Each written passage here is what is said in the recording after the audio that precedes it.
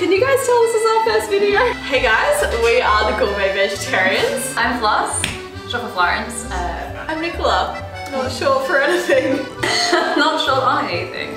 Welcome to our food challenge. Today we're going to be doing a French dish. We're doing a twice baked cheese souffle. Goat's cheese souffle. Goat's cheese souffle because you know right? Goat's cheese. We have bad things about souffle. Um, and the last time we tried to do a slightly more ambitious French dish was a creme brulee. I don't actually want to talk about it. Floss burnt it. I'm so sick of her blaming me for this. It was definitely a joint effort. She's this is it. It's time. Should we start cooking? Yeah, let's get cracking. We're combining a couple of recipes um, for souffle. So we've got Stuck in the Kitchen's double baked cheese souffle and The Engine Room's double baked goat's cheese souffle. Alright, let's get this party started. Very important ingredient in the kitchen is our food box. Yeah. Okay.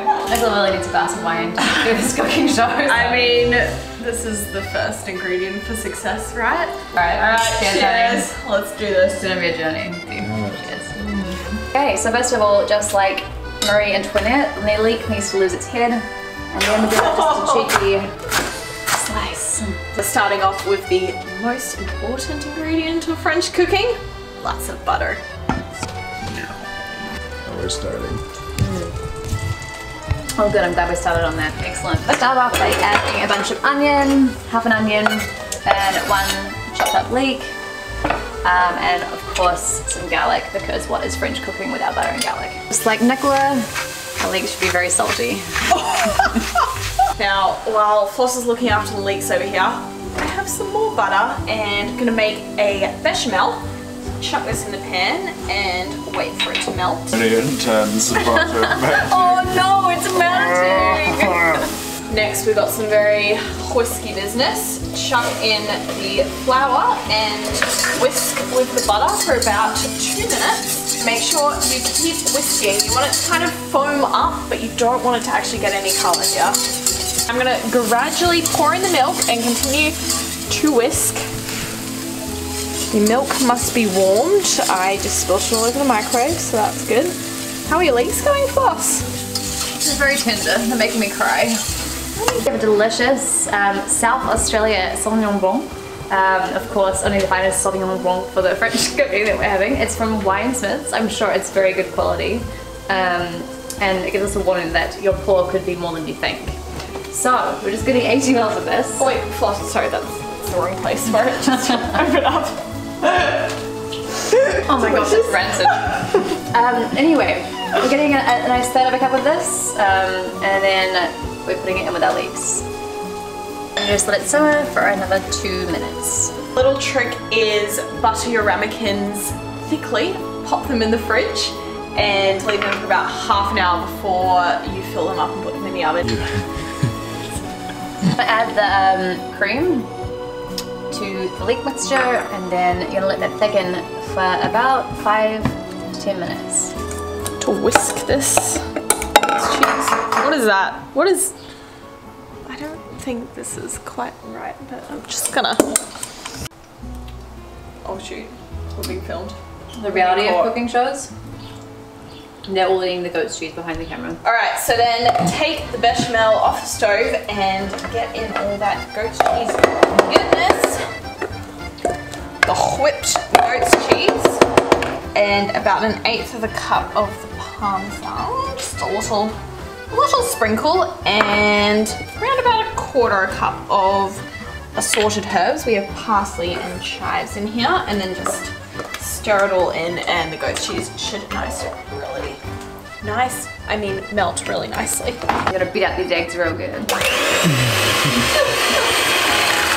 It's a very small bowl. Um, just a soft piece. That looks pretty soft to me. Perfect. Slodge, slodge, and it goes. Floss, it's leaking. Alright, next we're gonna add this lovely leek puree into our bechamel goat's cheese mixture. And then just whisk it all up. So. Um, all right, so now we have our final stage, which is basically adding in the rest of the, well, what would be grana padano if we could afford it, but we have parmesan because we're budgie. Budgie. We're bougie on a budget is what I was trying to say. cool. But it's parrots here. Parakeets. Nicola's definitely loud enough to be a parakeet. Um, and then we add the egg yolks. I'm gonna pay for that later. And basically you wanna beat this up real, fast. We add the final splodgy splodge, the egg whites, and you want to really gently fold them in so you don't want to lose the aeration.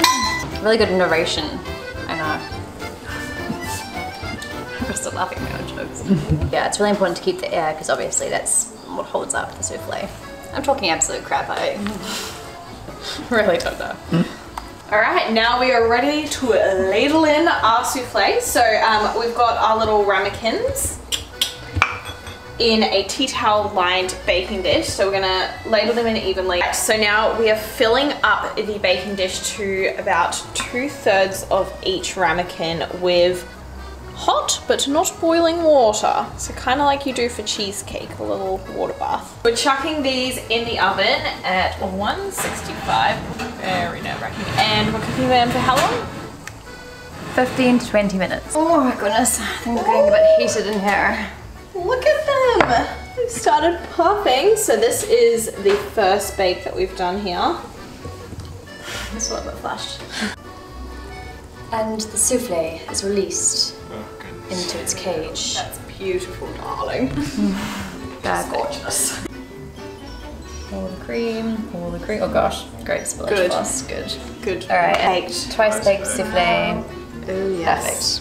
Our dinner guests have arrived. They get to watch this crazy process operate. Oh no, cream everywhere. Good. Chaos. Guys, I think we've done it. We have made souffles. Not sure if it's cooked or not yet, but I guess we'll soon find out. Here is our little photo setup with our beautiful double-baked goat cheese souffle. Bon appetit. Bon appetit. uh, just well, guys. Cheers. oh